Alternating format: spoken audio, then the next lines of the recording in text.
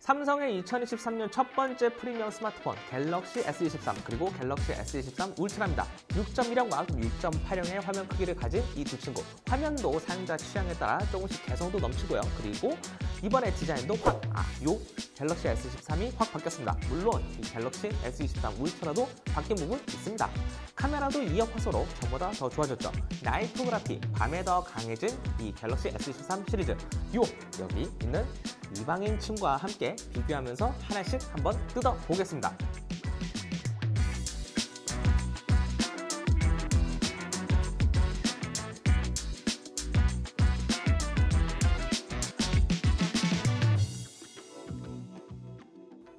갤럭시 S23과 S23 울트라입니다. 일단 이 외관, 어, 갤럭시 S23 아주 예뻐졌죠. 기존에 있었던 후면 카메라 부분의 어, contour cut housing을 일단 없애고 깔끔하게 floating island로 디자인을 정리했습니다.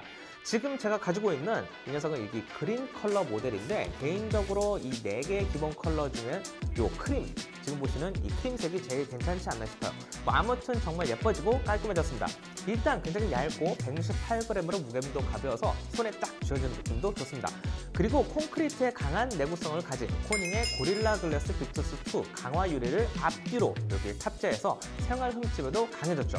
사이즈는 지금 옆에 보시는 아이폰 14 그리고 아이폰 14 프로와 거의 비슷합니다.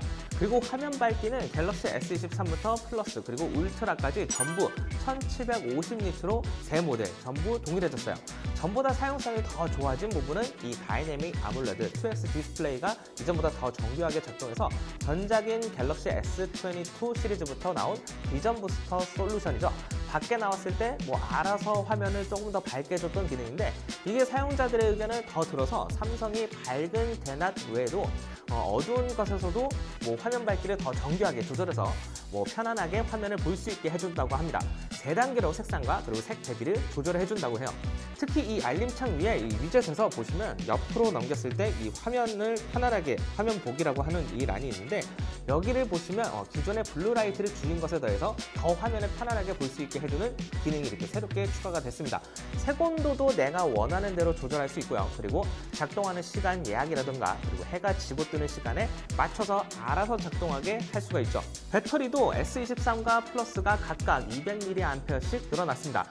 지금 보시는 이 S23은 3700mAh에서 3900으로 올라갔고요. 그리고 플러스는 4700mAh로 늘어났죠.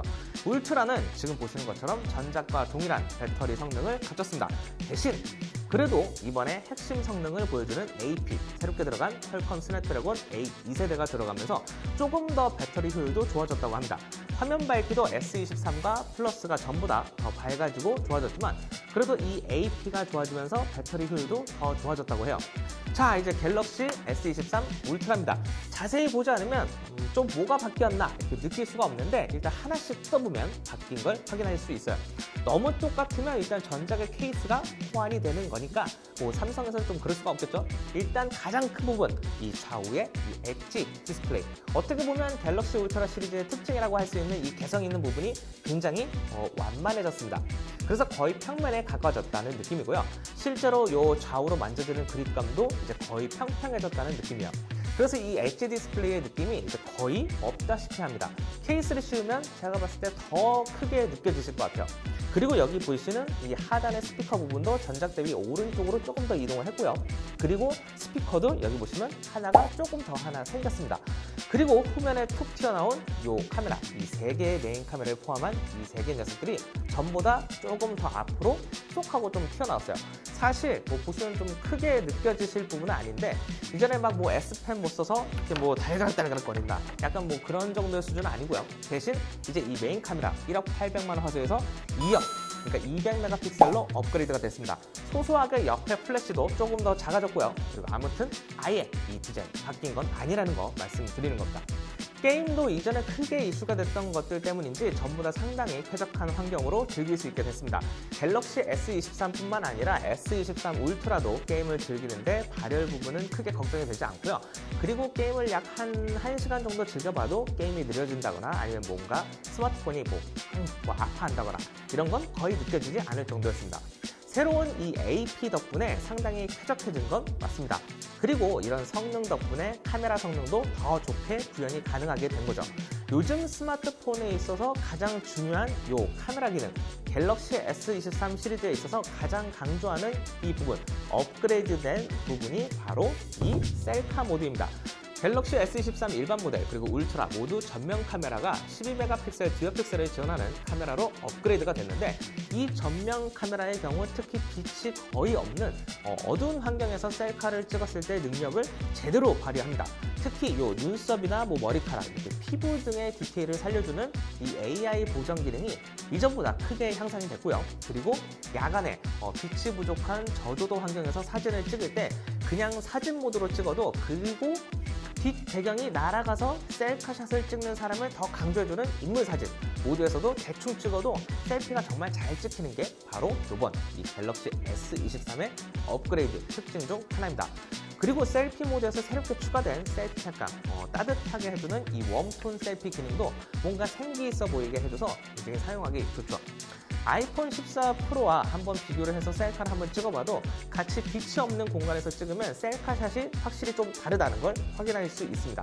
아이폰이 색감이 좀 부드럽고 좀 우리가 봤을 때 좀 익숙한 느낌이 좀 들긴 해도 노이즈가 상당히 좀 많다는 걸 바로 확인할 수 있어요. 갤럭시 S23 울트라는 좀 피부톤이라든가 이런 게 좀 약간 보시면 약간 이질감이 있긴 해도 그래도 정말 결과값 잘 나오긴 하죠. 특히 인물 사진은 완전히 다른 수준입니다. 뒷부분 배경을 날리는 것도 그렇지만 일단 빛이 부족한 환경에서 얼굴이 잘 나오게 하는 것 자체가 일단 완전히 결과값이 다르죠. 사진도 이번에 Expert RAW 앱이 이전보다 더 발전했습니다. 기존의 12메가픽셀에서 이제 50메가픽셀 고화질도 지원하고요. 그리고 기능 중 다중 노출 기능을 사용하면서 첫 번째 사진과 그리고 두 번째 사진, 세 번째 뭐 이렇게 사진들을 합성해서 재미난 사진들을 연출할 수 있습니다. 또 삼각대와 갤럭시 S13이 있으면 전체 사진 모드에서 별자리가 움직이는 영상도 찍을 수가 있는데요. 스마트폰의 GPS를 이용해 한 4분, 뭐 길면 10분까지 밤하늘의 별을 찍을 수 있는 겁니다. 사진도 꽤 재밌게 찍을 수 있는데 어, 솔직히 저는 좀 추워서 죽는 줄 알아서 좀 썩 좋진 않았는데 아무튼 이것도 정말 재미난 기능 중 하나이긴 합니다. 그리고 이번에 재미난 기능 중에 하나인 Astro Hyperlapse라고 해서 기존의 어, Hyperlapse 기능이죠. 카메라에 있었던 이 Hyperlapse가 최대 300분까지 늘어났습니다.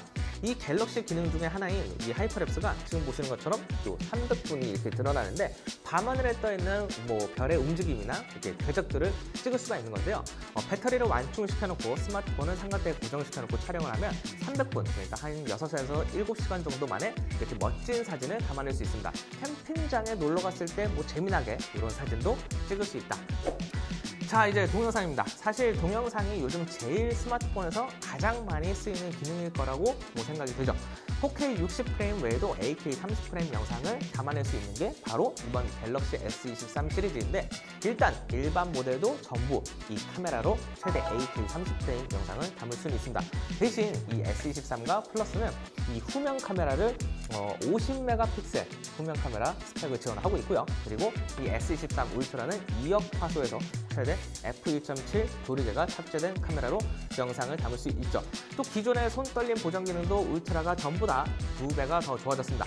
타사의 이 아이폰 14 시리즈도 이번에 action mode라고 해서 새로운 기능이 추가되긴 했죠. 갤럭시도 흔들림을 잡아주는 Super Steady 기능이 원래 이전부터 제공하고는 있었지만 이번에는 사실 이 기능을 켜지 않고도 충분히 동영상만 촬영을 해도 흔들림을 충분히 잘 잡아줬습니다. 실제로 저희가 테스트를 했을 때 Super Steady 기능을 켜지 않고 저희가 한번 촬영을 해봤었는데 이 갤럭시 S23 어, 울트라를 동영상 손떨림 보정 기능만 체크를 했고요. 그리고 아이폰 14 프로는 액션 모드를 활성화하고 촬영을 해봤는데 갤럭시 S23 울트라와 아이폰 14 프로와 비교를 했을 때 계단을 빠르게 내려가는데도 거의 흔들림의 차이가 느껴지지 않을 정도로 흔들림을 둘 다 잘 안정적으로 잡아줬습니다.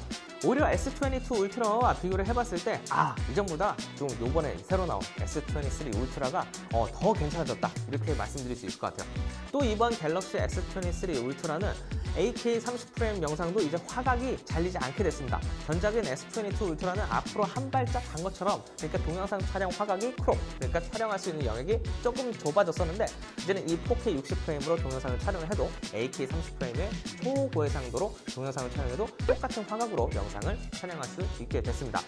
우선 이 전면 카메라, 그러니까 어, 밝은 대낮에 4K 60프레임의 동영상을 촬영해서 이 결과값을 좀 한번 비교를 해보면 어, 머리카락 부분이나 아니면 뭐 아, 옷의 질감 뭐 이런 부분들을 한번 제대로 살려주는 거 바로 요 갤럭시 S23 울트라였습니다. 아이폰 14 프로도 그렇고 이번 갤럭시 S23 울트라도 이제 밤에 더 강해졌죠. 야간 동영상 촬영도 전부 다 더 좋아졌습니다. 아이폰도 그리고 메인 카메라가 48 megapixel로 더 좋아졌고요. 그리고 이미지 센서도 65% 더 커졌죠. 렌즈도 이제 flare 현상도 줄었다고 하는데 빛번짐, 그러니까 야간에 어, 두 제품을 한번 같이 한번 테스트를 해봤는데 그래도 이 아이폰 14 프로가 이렇게 같이 해봤는데 조금은 아직 이런 현상들이 조금 좀 강하다 이렇게 말씀드릴 수 있을 것 같아요. 하지만 이렇게 후면 카메라로 야간에 동영상을 좀 촬영을 해보면 밤하늘의 이렇게 부분에 약간 노이즈들이 좀 보이는 건 갤럭시 S23 울트라였습니다. 대신 조금 더 밝게 보여주는 것도 갤럭시 S23 울트라였죠. 아이폰 14 프로와 함께 촬영을 해봤는데 결과물을 좀 비교해보니 실제로 눈에 보이는 대로 색상을 가깝게 표현해주는 건 아이폰 14 프로였습니다. 대신 디테일한 부분들, 뭐 가로등의 디테일이라든가 아니면 나무의 디테일 이런 것들은 아무래도 갤럭시 S23 울트라가 조금 더 나았었어요. 전면 카메라는 밝은 낮에 오히려 아이폰 14 프로가 조금 디테일이 부족했었는데 오히려 빛이 부족한 저녁에 피사체가 어? 이것 때문에 어, 피사체가 조금 더 괜찮게 나오는 어, 약간 그런 모습을 보였습니다. 뭐지? 자 이제 갤럭시 S23 그리고 S23 울트라 이렇게 이를 많이 갈고 나왔습니다. 솔직히 작년에 많은 아픔이 있었죠. 여러 이슈들이 있었는데 칼을 갈고 나왔는지 이번에 좀 제법 완성도가 높아진 느낌입니다. 우선 작년에 어, 폴드 시리즈죠. Z 폴드와 그리고 Z 플립 4를 만나면서 약간 어, 전 세대의 업그레이드 버전 같은 느낌이었는데 이번 요 갤럭시 S23 시리즈도 작년에 S22에 부족했던 부분들을 상당 부분 업그레이드해서 나온 느낌입니다. 그리고 퀄컴 스냅드래곤 8 2세대와 그리고 개선된 카메라가 이걸 뒷받침해주고 있죠. 어떻든 뭐 작년에 호되게 혼나고 나왔다 보니까 이번에 제대로 나온 느낌입니다. 개인적으로 어, 저는 뭐 스페이스 줌 뭐 이런 고배율의 카메라 기능들이 좀 별로 필요 없고 뭐 작은 스마트폰을 좀 선호를 해서 작고 아담한 이 갤럭시 S23가 좀 제일 마음에 뭐 들긴 했는데 뭐 가볍고 좀 그립감도 좋고요. 그리고 성능도 좀 차고 넘치긴 합니다. 셀카도 다 잘 나오고요. 화면이 큰 게 좋다. 그리고 야간에 사진 찍는 거 좋아한다. 영상도 찍는 게 좋다. 하시는 분들에게는 당연히 이 갤럭시 S23 울트라가 더 좋은 선택이 되실 것 같습니다. 가격이 뭐 이번에 좀 비싸게 나온 게 좀 흠으로 꼽히긴 하는데 어, 국내에서는 좀 경쟁 모델인 뭐 아이폰 14 시리즈 지금 보시는 것처럼 뭐 미국은 약간 동결, 국내는 좀 인상이 돼서 좀 출시가 됐죠. 뭐 이런 부분은 좀 해외나 뭐 국내 가격 정책이 좀 갤럭시 S20 시리, 시리즈도 좀 마찬가지긴 한데 좀 환율, 부품 수급 뭐 이런 가격 이런 걸 다 떠나서 다 힘든 상황에 뭐 어떻게 좀 봐야지는 좀 모르겠습니다만 싼 게 좋은데 말이죠. 어, 뭐 야간 사진 촬영, 뭐 셀카를 많이 찍는다. 그리고 이제 뭐 게임이나 안드로이드 스마트폰을 써야 된다. 이런 분들에게는 갤럭시 S23 시리즈 좋습니다. 잘 나온 것 같아요. 현존하는 고성능의 안드로이드 스마트폰 갤럭시 S23와 그리고 S23 울트라 영상은 여기까지입니다. 저는 시네코리아 유현종 기자였습니다. 그럼 오늘 영상 끝!